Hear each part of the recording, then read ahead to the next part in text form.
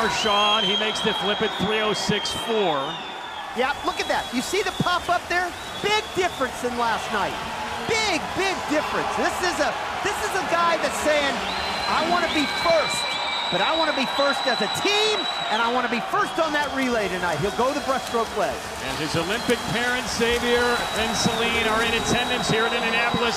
The final stroke for another national championship for Leon Marchand, 332.12. It's day three of the men's 2024 NC2A championships, and I don't know about anyone else, but I'm getting a little tired. It's really hard to be physically and more importantly as a fan emotionally involved in such a crazy and hype event like the NC2As and maintain that for multiple hours a day for four days. And there's someone else who seemingly is getting a little tired.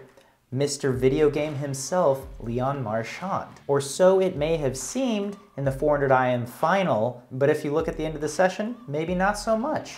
Let's talk about this. So Leon Marchand did the otherworldly last night in the 500 freestyle, swimming a 402.31, shattering the all-time record by nearly four seconds. Flash forward to tonight, Leon's top seed in the 400 IM, where he swam another otherworldly time last year at the NC2A Championships, going 328.82. He's primed to have another fantastic swim tonight in the final, but he also has the 400 medley relay coming up, where ASU definitely has a shot at winning their first ever relay title in program history. Leon goes out in the 400 IM and dominates, as expected, but towards the end of his swim, he was looking a little lackluster for Leon, not compared to anyone else. And as you saw before this, Rowdy even mentioned it on the broadcast that he didn't think Leon had that pop that we are used to seeing him have, or even that he had last night in the 500 freestyle. Leon touches in 332.12, over three seconds ahead of his next competitor, which was his ASU teammate David Schlitt, and Leon seemed more happy about his teammate getting second and ASU going 1-2 than he did about his own swim. So flash forward to the 400 medley relay, the last event of tonight's session. Leon splits 48.73 in the breaststroke leg. The fastest breaststroke leg ever split in history and helps ASU to their first ever relay title in program history. That's a very big deal for Leon and for Arizona State. Now, before I go into my analysis, let's hear what Leon had to say about his 400 IM tonight. I don't think I did a really good job at recovering yesterday night. Um, my legs were really, really tired, I guess. Makes sense too, but sure. um, I think it's hard to do the, the 5-3 and the 4 IM. That's a tough double.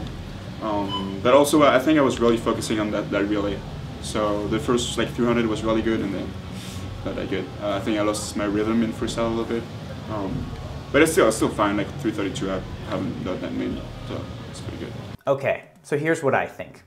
When I saw the broadcast, when I heard Rowdy saying what he did say, I was in the Rowdy boat. In my head, I was thinking, Leon really does not need to go very fast to win this event. And I don't think he's going for some otherworldly record like he did in the 500 free, because he already did that in the 400 IM last year. He has left his mark without a doubt in this event already, and he has bigger goals this year. Arizona State is going for their very first team title in program history, and Leon can maximize his contribution to that without going all out in the 400 IM final. I think a little part of him probably also wanted to drag his teammate with him to a 1-2 finish and beating him only by three seconds compared to seven seconds probably helps his teammate feel pretty good about the swim that he, as in David Schlitt, is having at the time. And then we get Leon's perspective on it, which is